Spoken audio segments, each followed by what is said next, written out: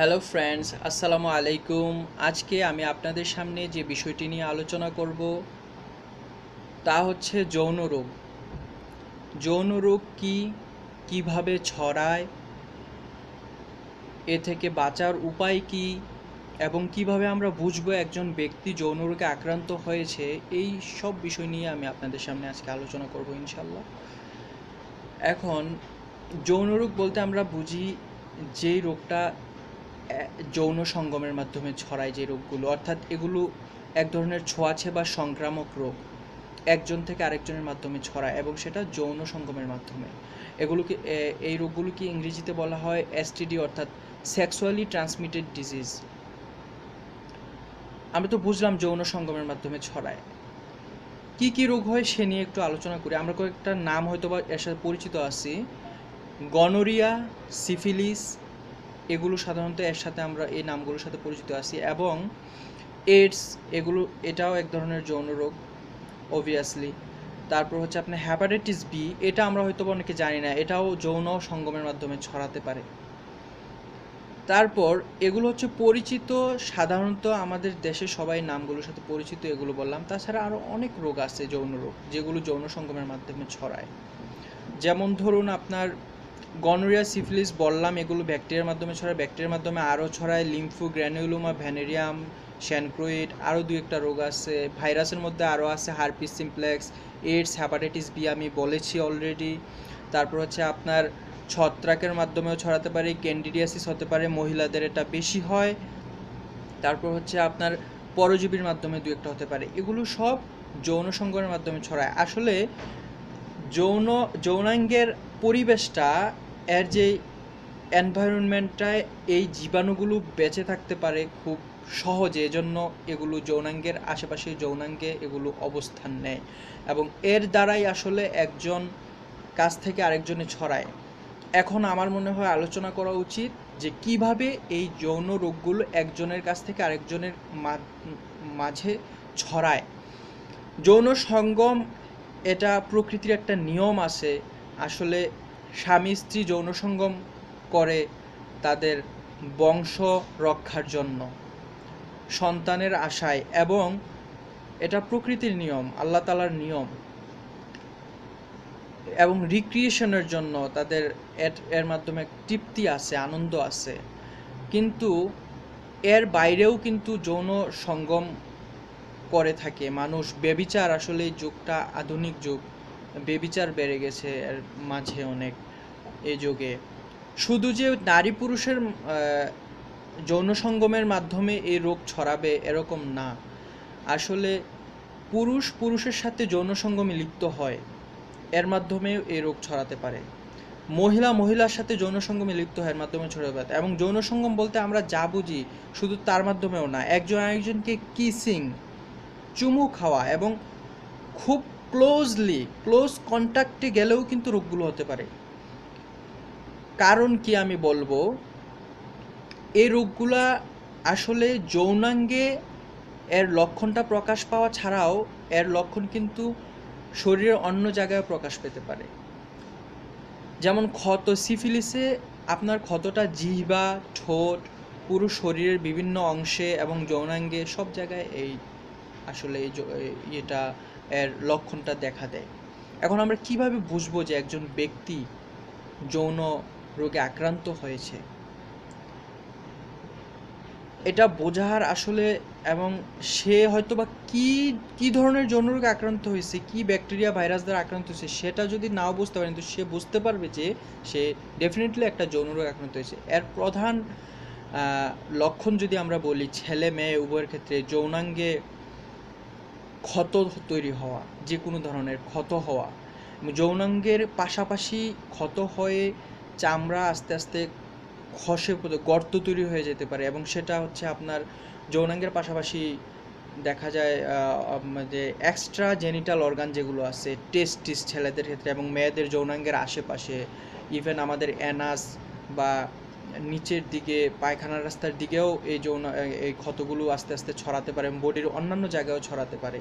এটা গেল এক। দুই হলো, ছেলে মেয়ে উভয়ের ক্ষেত্রে যদি কোনো ধরনের ছেলেদের এবং মেয়েদের প্রস্রাবের রাস্তা দিয়ে বা মেয়েদের যৌনাঙ্গের রাস্তা দিয়ে যদি কোনো ধরনের পুজ নিঃসৃত হয়, পুজ নিঃসৃত হোক, মেয়েদের যে কোনো ধরনের দধির মতো হলুদা বা হলু, হলুদা হলুদা বা যে কোনো ধরনের গ্রিনিশ ইয়েলো যে কোনো ধরনের স্রাব মানে যেটা স্বাভাবিক না, সে বুঝতে পারে নিঃসৃত এবং তার সাথে সাথে ব্যথা হয় এবং যৌন সঙ্গমের সাথে যৌন সঙ্গমের সময় যদি কোনো ধরনের ব্যথা হয়, প্রস্রাবে কোনো ধরনের যদি প্রস্রাবে যদি ঘন ঘন প্রস্রাব হওয়া এবং প্রস্রাবে জ্বালা পোড়া হওয়া, এই ধরনের এই লক্ষণগুলোর দু একটা যদি সে অনুভব করে, তাহলে সে অবশ্যই ডাক্তারের সাথে তার যোগাযোগ করতে হবে, সে বুঝতে পারে যে তার যৌন রোগে সে আক্রান্ত হতে পারে।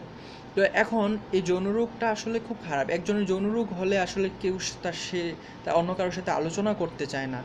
কিন্তু এই রোগ প্রতিরোধের ক্ষেত্রে এই জিনিসটা খুবই প্রয়োজন। আগে আমাদের তাকে নোটিফিকেশন করতে হবে কে যৌন রোগে আক্রান্ত, তার চিকিৎসাটা পুরোপুরি কমপ্লিট করে, তারপর তারে সারভাইভ করতে, স্বাভাবিকভাবে সারভাইভ করতে দেওয়া যেতে পারে। তা না হলে সে এই রোগ আরও ছড়াবে।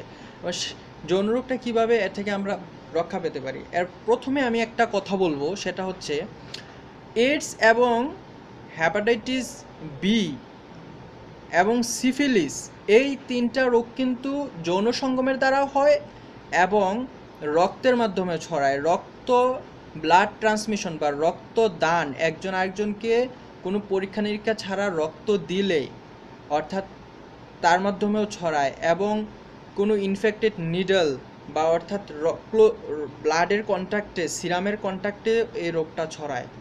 অর্থাৎ আপনার সহজ ভাষায় রক্তের মাধ্যমে ছড়ায় এই রোগ তো একজন মানুষ এবং মাদক নিলেও কিন্তু এই তিনটা রোগ তার মানে ছড়াতে পারে, অর্থাৎ ব্লাডের মাধ্যমে। আমরা জানি সিরিঞ্জ দিয়ে মাদক নেয়।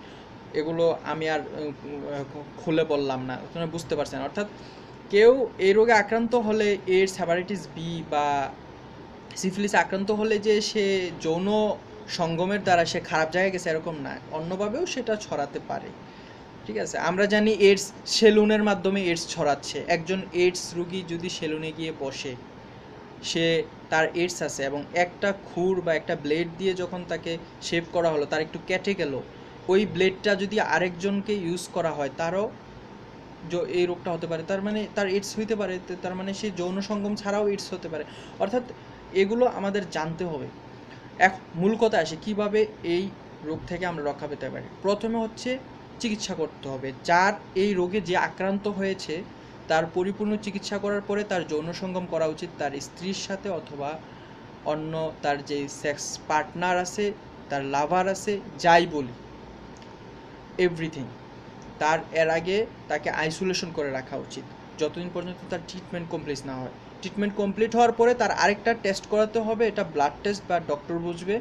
করানোর পরে যদি মনে করে যে সে এখন যৌন রোগ থেকে মুক্ত, তারপর তাকে উচিত যে নর্মাল লাইফ সারভাইভ করা। দেন গেল নোটিফিকেশন অর্থাৎ কে এই রোগ দ্বারা আক্রান্ত, তাকে নোটিফাই করা, চিহ্নিত করা, তারপর গেলো আইসোলেশন তাকে আলাদা করে ট্রিটমেন্ট দেওয়া। এখন আসি যে কীভাবে এ রোগ থেকে আরও কী কী উপ- উপায়ে আমরা এই রোগ থেকে রক্ষা পেতে পারি। যেমন ধরুন, আমরা যদি যে বিষয়টা নিয়ে আলোচনা করছিলাম যে যৌনরোগ কীভাবে প্রতিরোধ করা যায় সো কেউ যদি পার্সোনালি অবৈধ যৌন সম্পর্কে লিপ্ত হয়ে থাকে, তাহলে তাকে সে স্ত্রী ব্যতীত বা স্বামী ব্যতীত অন্য কারোর সাথে যৌন সম্পর্কে লিপ্ত হয়, তাহলে সে কন্ডম ইউজ করতে পারে। এটা বেরিয়ার মেথড হিসেবে সে ডায়াফ্রাম ইউজ করতে পারে। এগুলো হচ্ছে, আর যদি এখন আসতে পারি যে ধর্মীয় অনুশাসন মেনে চলার ক্ষেত্রে আসলে ধর্মীয় অনুশাসন মেনে চলার কোনো বিকল্প নেই। আসলে আধুনিক যুগ, যুগে মানুষের চিন্তা ভাবনা ওয়েস্টার্ন পাশ্চাত্যের দিকে সব আমরা ধাবিত হচ্ছি। পাশ্চাত্যের ধ্যান, ধারণা, মগজ আমাদের মধ্যে আসলে প্রবেশ করেছে। সো এটা খুবই ক্ষতিকর আমাদের জন্য। সো দ্বিতীয়ত আমি বলব যে, বাংলাদেশের সরকারের কিছু করণীয় থাকতে পারে বা আমাদের লাইফ স্টাইলে পরিবর্তন আনা যেতে পারে। যেমন আমাদের আসলে যৌন রোগের, শুধু যৌন রোগ নিয়ে গবেষণা করার জন্য এবং চিকিৎসা দেয় এরকম কোনো প্রতিষ্ঠান আছে বলে আমার ধারণা নেই। এসটিডি ক্লিনিক যেটা সাধারণত বিদেশে আছে এবং সেখানে টিনেজার থেকে শুরু করে সব বয়সের মানুষরা সেবা নিতে পারছে। তারা গিয়ে ইজিলি তার মনে যদি সন্দেহ থাকে সে, সেখানে গিয়ে তার যৌন রোগের পরীক্ষাগুলো করে নিচ্ছে যে তার যৌন রোগ আছে কিনা এবং ট্রিটমেন্ট নিচ্ছে সেখান থেকে। এবং সেখান থেকে তাকে সব বুঝিয়ে দেওয়া হচ্ছে যে তুমি এভাবে এখন থেকে লাইফস্টাইল এভাবে সার্ভাইভ করো, তোমার এই যৌন রোগটা আছে এবং এই ট্রিটমেন্টগুলো তুমি কমপ্লিট করো। আর তারপর যেটা হয় যে আসলে আমাদের সরকার সেখানে পর্নোগ্রাফিটার ব্যাপারে কিছু আইন বা লেজিসলেটিভ কিছু এনফোর্সমেন্ট সেখানে করতে পারে। আসলে পর্নোগ্রাফিটা এটা আমরা জানি যে এখন ইন্টারনেট সহজলভ্যতার ইন্টারনেটের সহজলভ্যতার কারণে সবাই পর্নোগ্রাফিক ভিডিও দেখছে এবং ছবি দ্বারা প্রভাবিত হচ্ছে এবং পর্নোগ্রাফি কিছু লিটারেচার বা যৌনতা বিষয়ক বইগুলো মানে যেটাকে আমরা বলি যে যৌনতা বিষয়ক গল্পগুলো তারা যদিও পড়ে, এগুলোর দ্বারা তারা অবশ্যই তার এটা ব্রেনে প্রভাব পড়ে। সে আসলে উন্মাদ, যৌন যৌন উন্মাদে পরিণত হয়, তারপর সে খারাপ কাজে লিপ্ত হয়। তারপর প্রস্টিটিউট যারা আছে বা যৌনপল্লীগুলোকে সরকার সেখানে গিয়ে স্ক্রিনিং টেস্ট করতে পারে যে কার কার যৌন রোগ আছে, তাদেরকে আলাদা করে চিকিৎসা দিবে এবং যৌনপল্লী নিষিদ্ধ করতেই পারে। নিষিদ্ধ করে তাদেরকে পুনর্বাসন করতে পারে, তাদেরকে অন্য কাজ দেওয়া যেতে পারে এবং যৌনপল্লীগুলোতে এটা করবে, তারপর ঠিক আছে, কিন্তু মানুষকে অন্যভাবে বিনোদনের ব্যবস্থা রাখতে হবে। সাধারণত আমরা জানি যে এটা মানুষ যখন একা একা থাকে, বিনোদন কম পায়, তখন তার খারাপ চিন্তাগুলো প্রভাবিত হয় বেশি। এটা এক ধরনেরই হতে পারে। তারপর হচ্ছে, আসলে যৌন রোগের চিকিৎসা খুব জটিল কিছু না। খুব সহজেই যৌন রোগের চিকিৎসা হয়ে যায়। কয়েকটা ব্যাকটেরিয়া দ্বারা যে যৌন রোগগুলো হয়, তার জন্য অ্যান্টিবায়োটিক সেবনে সেগুলো ভালো হয়ে যায়। দু একটা ভাইরাস রোগ একটু জটিল আকারে ধারণ করে, সেগুলো সাধারণত এইডস আছে, জেনিটাল ওয়ার্ড আছে, সেগুলো কিছু প্রতিরোধের ব্যবস্থা আমাদের সচেতন হতে হবে। সো ওভারঅল আজকে এ পর্যন্তই। আমি আপনাদের যেগুলো বললাম, আপনারা আশা করি উপকৃত হবেন সবাই। আর হচ্ছে আমার এই চ্যানেলটা আসলে আমি ভালো কাজে ব্যবহার করতে চাই। আপনাদের বিভিন্ন দৈনন্দিন জীবনে সাধারণত আমি চেষ্টা করব মেডিকেল বিষয়ক বা কোনো সমস্যা সাধারণত যেগুলো আমরা যেগুলো সম্মুখীন আমরা হয়ে থাকি সেগুলোর ব্যাপারে আলোচনা করার চেষ্টা করব এবং আপনাদের এই ব্যাপারে সবসময় আমি সচেতন করার চেষ্টা করব।